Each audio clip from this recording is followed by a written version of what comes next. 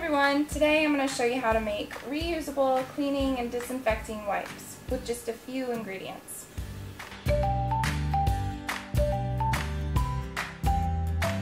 Now these are also considered to be disinfecting wipes, but they have not been tested in a lab. But I am using alcohol, uh, at least a 70% alcohol. You can use hydrogen peroxide.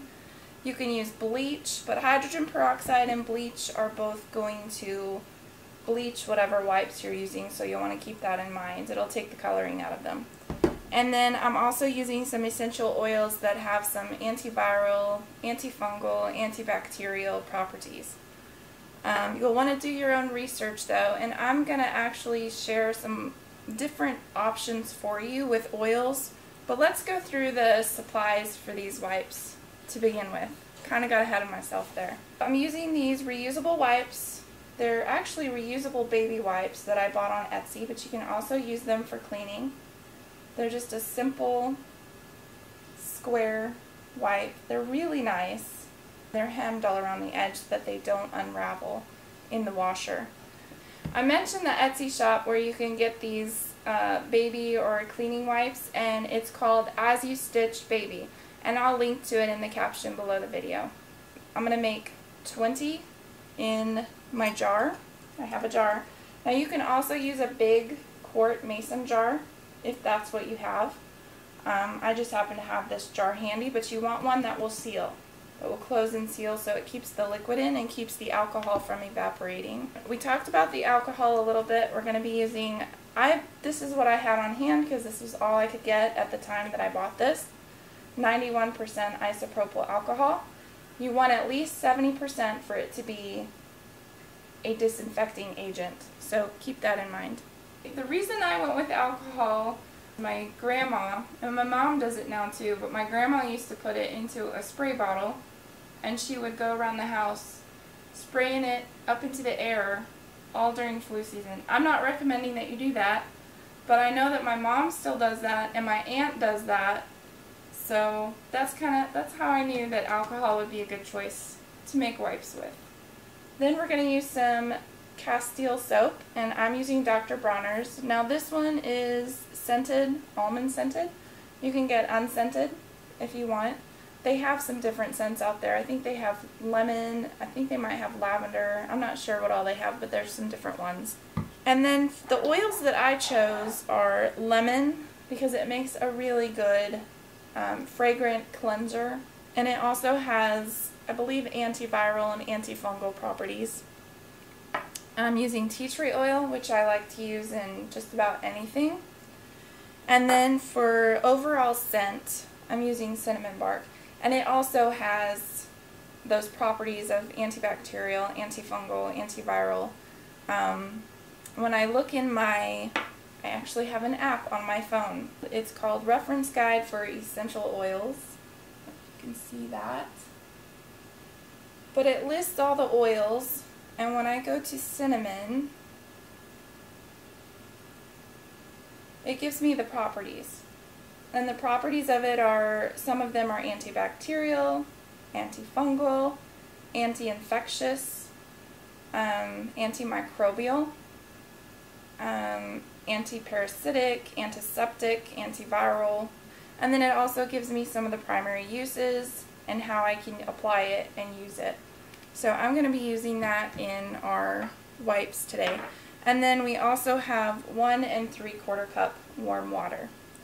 So we're going to go ahead and get these wipes mixed up and clean something. I've got my jar, it's all cleaned out, ready to go.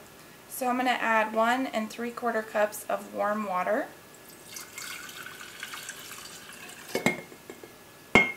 Then we're going to add one ounce of liquid Castile soap.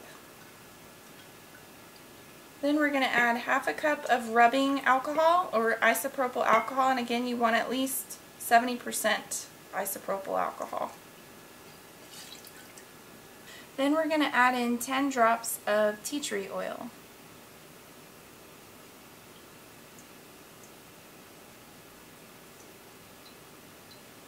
Then we're going to do 10 drops of lemon oil.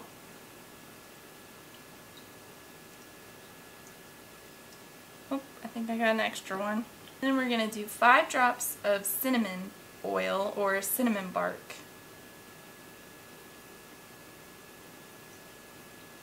Then we're going to take a whisk and just whisk that mixture up so it's mixed well.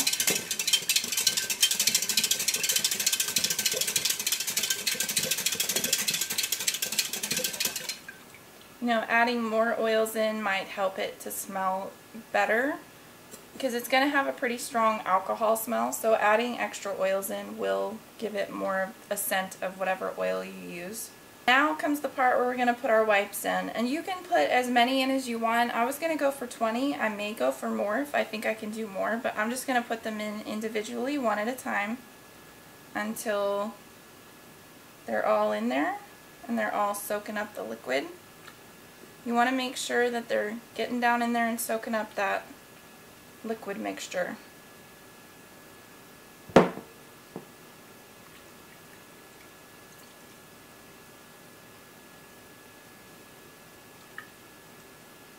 These are getting a little bit, I think we're about to get all that liquid.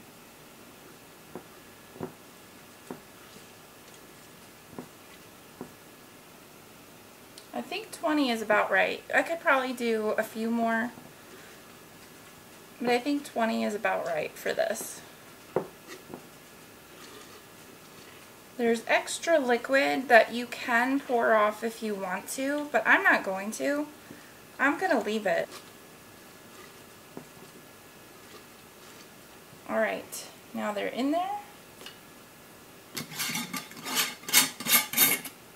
Alright, and I've got a jar full of wipes ready to go. We have our wipes in the jar.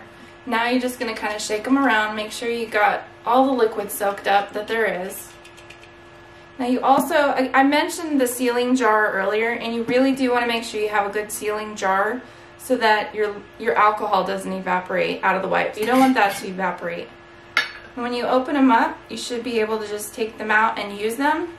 If it feels too wet, you can squeeze them out if you need to. This one feels actually pretty good. So I'm going to go ahead and do some cleaning.